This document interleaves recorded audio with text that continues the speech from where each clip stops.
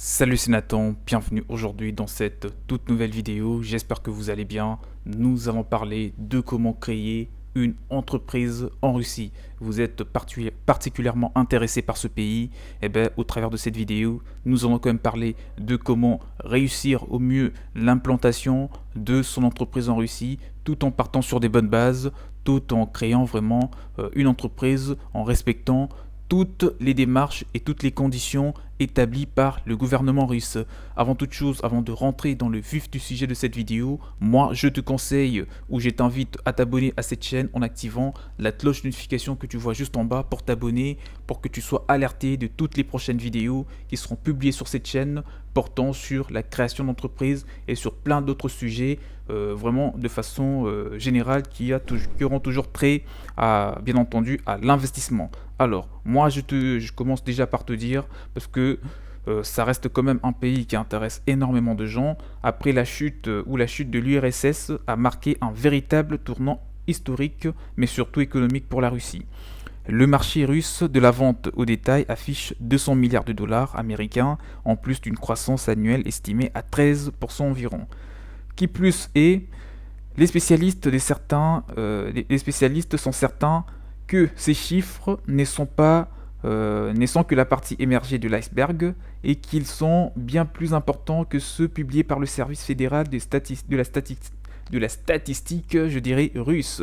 Donc voilà, on y va. Si vous avez, vous avez donc décidé de créer votre entreprise en Russie, personne ne pourra euh, vous déconseiller de faire le contraire.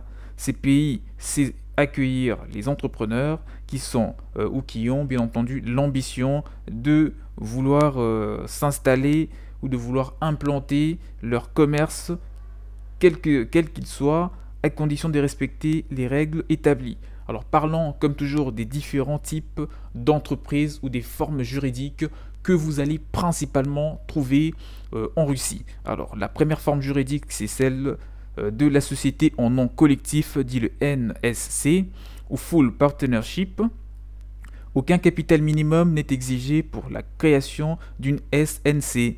Il n'y a pas non plus de nombre minimum de partenaires ou d'associés. Toutefois, une personne ne peut prendre part. Euh, toutefois, une personne ne peut prendre part qu'à une, euh, qu'à une seule société en nom collectif. Enfin, la responsabilité des associés est illimitée à la direction de la société et exercée d'un commun accord avec tous les participants. La deuxième forme juridique que vous trouverez en Russie, c'est la suivante, la société en commandite ou limited partnership. Le capital minimum pour la création d'une euh, société en commandite est de 10 000 euh, rubes, environ 200 euros. Elle est créée sur la base d'une convention d'association où au moins une personne a une responsabilité illimitée et les autres ont une responsabilité limitée. La, société par action ouverte ou Open Joint Stock Company, c'est une forme juridique que vous trouverez également en Russie.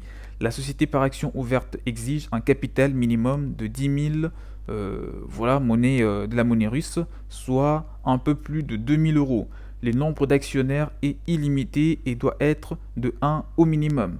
Leur responsabilité se limite au montant de leur apport. Ce type de structure convient davantage aux grandes entreprises avec de nombreux actionnaires. Donc si vous voulez vraiment lancer quelque chose de grand, des géants, en Russie, moi je te conseille, moi je vous, je vous conseillerais de prendre cette forme juridique qui est la société par action ouverte parce que elle pourra vraiment correspondre à la taille de votre entreprise et surtout à son, son, différent, euh, son différent détail et à son activité. après cette forme juridique, on a également la société par action fermée, dite Closed Joint Stock Company. Ce type de société est adapté en cas d'investissement conjoint avec un partenaire russe extérieur au groupe fondateur.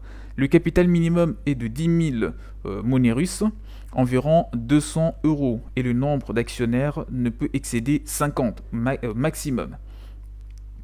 Après cela, on parle de la SARL ou la société à responsabilité limitée, dite Limited Liability Company, donc la Limited Liability Company ou la SARL en Russie est la forme la plus adaptée lorsque l'investissement n'est pas réalisé conjointement avec un partenaire russe. Le nombre d'associés est limité. à 50 et le capital minimum s'élève à 10 000 environ 10 000 rubes de la monnaie russe. Voilà. Donc 200, ce qui représente 200 euros euh, environ. La responsabilité des actionnaires est limitée au montant de leur apport. Parlons maintenant des 7 étapes à franchir pour enregistrer son entreprise en Russie. La première, et je te conseille de le noter, c'est la demande d'enregistrement. Vous pouvez remplir et signer un formulaire de demande d'enregistrement dit P, euh, P 11001 qui doit ensuite être notarié prévoyez un timbre fiscal de 200 roubles, donc 200 roubles euh, pour chaque copie de demande d'enregistrement. En plus de ces timbres fiscaux, si vous avez besoin de, faire rédiger une charte pour un notaire ou un avocat, prévoyez leurs honoraires également. Cette procédure prend un jour et ne peut être complétée en ligne. Euh, en ligne vous, vous devez bien entendu être sur place pour faire le nécessaire concernant cette première étape qui est la suivante, la demande d'enregistrement. La deuxième, c'est le dépôt du capital à la banque. Vous devez ouvrir un compte temporaire euh, au nom bien sûr de, de, votre nouvelle entreprise pour déposer le capital minimum requis. 50% du capital requis doit être versé avant la constitution de votre société. Le solde doit être payé au cours de la première année de fonctionnement. Alors, une fois l'enregistrement de l'entreprise effectif, il vous faudra ouvrir un compte définitif au nom de la société et ce nouveau compte sera fusionné avec le compte temporaire. Pour ouvrir un compte en banque, vous devrez fournir le formulaire de demande, une copie notariée, une copie de, la décision de la création de, la société, une copie notariée de l'accord de base également. Selon l'établissement bancaire, l'ouverture du compte peut prendre euh, plus d'un jour et cela en raison des procédures d'acceptation des clients de la banque. Euh, tout en sachant que ça dépendra de vous, de la banque qui vous paraîtra le plus intéressant pour la plus intéressante pour créer votre pour ouvrir votre nouveau compte bancaire en Russie au nom de votre société. La troisième étape c'est les paiements des frais d'enregistrement. Le paiement des frais d'enregistrement de votre société de l'ordre de 4000 roubles, environ 80 euros seulement, peut être effectué dans les agences de la, euh, Sberbank à Moscou ou au bureau 46 des services fiscaux de Moscou toujours. Vous, devrez, euh, vous recevrez une facture que vous devrez conserver précieusement, c'est très important de le savoir. Conservez bien cette facture puisqu'elle vous sera demandée au cours de la procédure qui n'est pas terminée. La quatrième étape, un cachet pour une entreprise privée pour l'ouverture d'un compte bancaire. Avant d'ouvrir, bien entendu le compte bancaire pour votre société, vous devez faire produire un cachet pour votre entreprise, acquérir un cachet à un coût, euh, bien entendu, et, et cela s'élève habituellement aux alentours de 350 roubles. D'ailleurs, vous devrez présenter la facture de paiement des frais euh, d'enregistrement au cours de cette procédure. La cinquième étape, obtenir un numéro d'enregistrement unique et de l'identifiant fiscal. Il vous faudra ainsi vous inscrire au registre unifié au service fédéral euh, des impôts russes. Donc euh, voilà, au service fédéral des impôts russes.